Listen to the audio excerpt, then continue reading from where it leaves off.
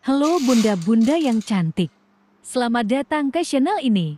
Kita panaskan dulu ovennya ya bun. Pertama kita ayak 250 gram tepung kek naik sendiri. Dalamnya sudah ada baking powder dan soda bikarbonat. Panaskan 100 gram mentega. Ini saya punya tape ubi dua bungkus. Kita haluskan buang seratnya ya bun.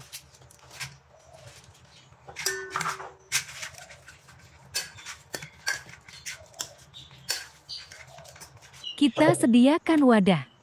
Masukkan butir telur ini, telurnya ukuran kecil atau 250 gram telur. 250 gram gula kastor atau gula halus.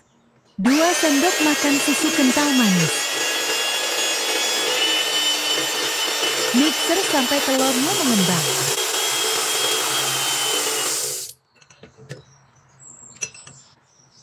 Masukkan satu sendok teh moripan.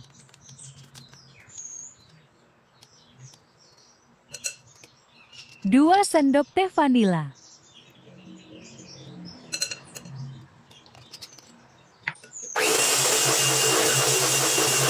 Di mixer lagi.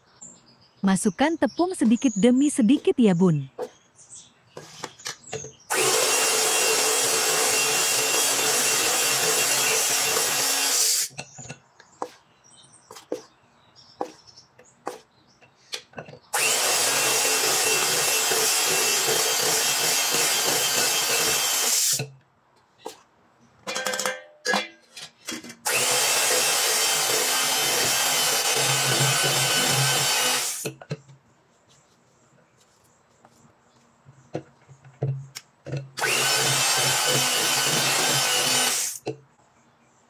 Masukkan mentega cair.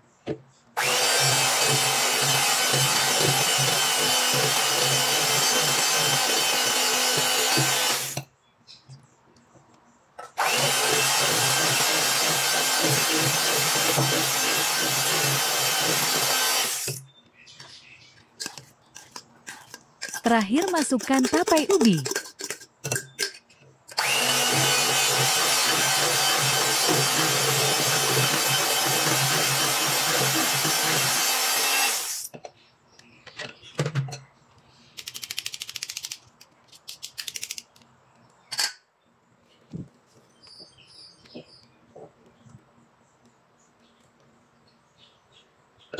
Biarkan adonan ke 30 menit.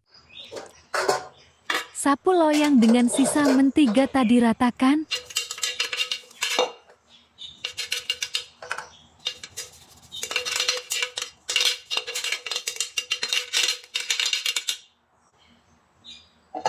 Taburkan dengan tepung terigu.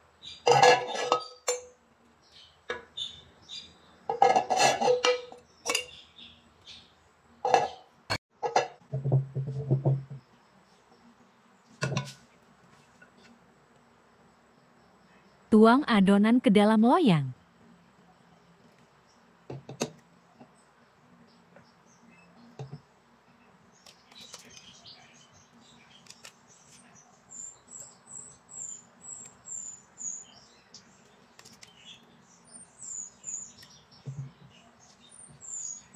Setelah itu, hentak-hentakan supaya adonan rata.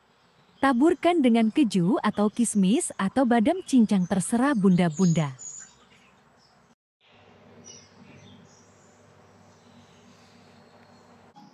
Kita bakar dalam oven selama 40 menit dengan panas 180 derajat Celcius.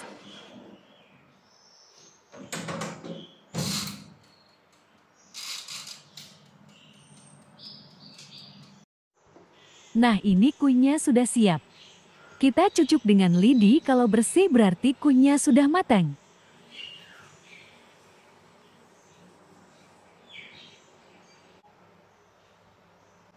Kita potong dan teksturnya sangat lembut. Jangan pergi dulu ya bunda-bunda yang cantik sebab saya punya tips yang sangat berguna.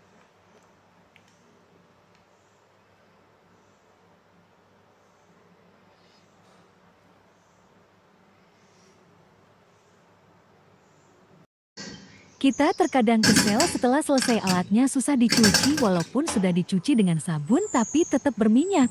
Ini solusinya didihkan air secukupnya dan tuang.